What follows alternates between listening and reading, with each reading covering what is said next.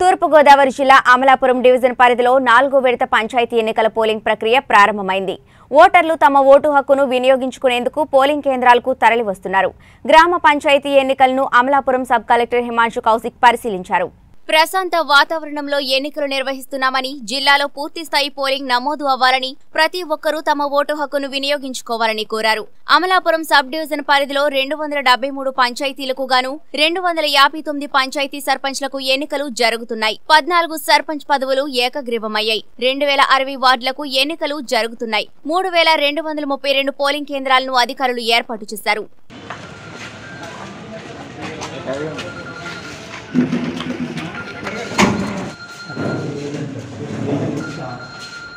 total ఎంత population ఉంది మూడు యాభై ఆరు